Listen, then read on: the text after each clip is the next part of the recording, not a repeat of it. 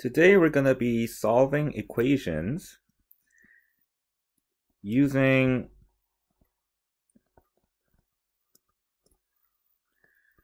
using cross multiplication.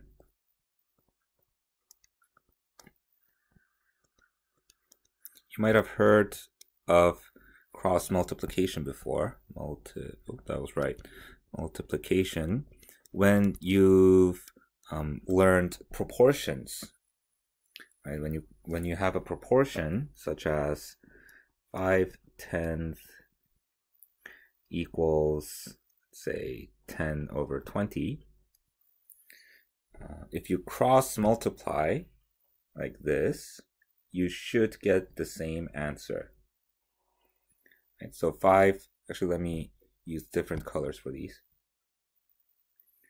So multiplying the the ones that I've circled in red should equal the ones that I've circled in blue. So if you do 5 times 20, you get 100. And also if you get 10 times 10, that also equals 100. So that was kind of like a property of proportions. When you cross multiply them, uh, you have to get the same answer. And we can use this same principle when we're solving equations. Let's start off with something a bit easier. So let's say that we have 1 half equals x over 6. Okay, what does x equal? And this case is, is easy because um, 2 times a certain number gives us 6. What does, uh, what, 2 times what equals 6? Let me use dot here instead of an x for multiplication so that you don't confuse with x. So if you multiply 2 by 3, you get 6. So you do the same thing to the numerator to find what x is. You have to multiply by 3, multiply the numerator by 3. So the numerator is 1, you multiply by 3. So that means the numerator uh, for the second fraction here has to be 3. So that means x has to be 3. And once you've solved this, you can uh, check by cross multiplication. If you multiply 1 times 6, do you get the same answer as 2 times 3? 1 times 6, you get 6, and 2 times 3, you get 6 as well. So that means our answer here, x equals 3, is correct. Okay, but there are some harder cases. For example, uh, we have 2 thirds equals x over 5. Okay, this is a bit harder because there is no number that you can multiply 3 to get to 5. Or at least there's no whole number that you can do this with. Okay, so that's why if you have a question like this, you have to solve a question like this, you have to use cross multiplication. Okay, remember our property here. If you multiply these, oops, let me use a different color here.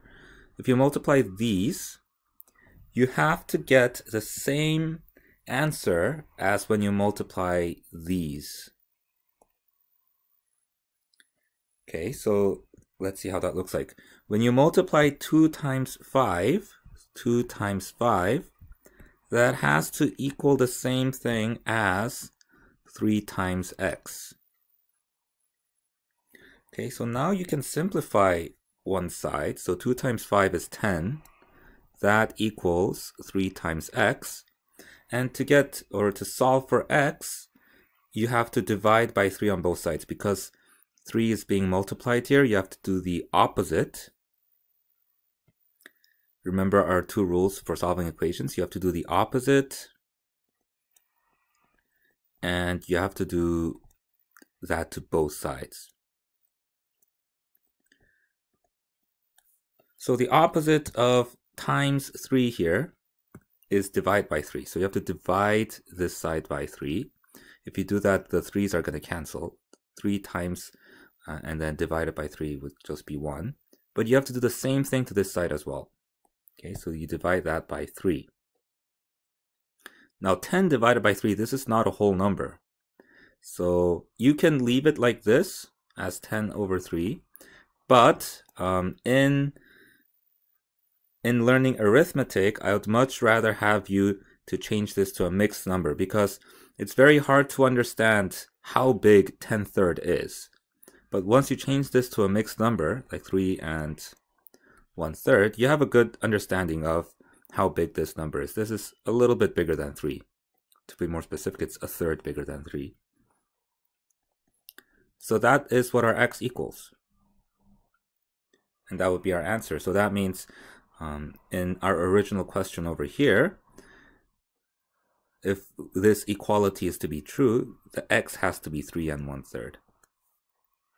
Okay, so and now you can see why we couldn't uh, do this intuitively as easily as we did this equation right here because x is not a whole number. Okay, but you can still solve for x using uh, cross multiplication. Let's try another example. Um, we have 4 ninths equals, this time let's have x on the bottom, 7 over x. Okay, how can we solve for x in this question? Again, uh, there's no number that you can multiply 4 to get to 7. Okay, so this means that we'll have to use cross multiplication again. So let's cross multiply 4 times x and then 9 times 7. If you multiply 4 times x, that's just going to be 4 times x. We don't know what x is, so we can't simplify that. That's going to equal 7 times 9, which is 63.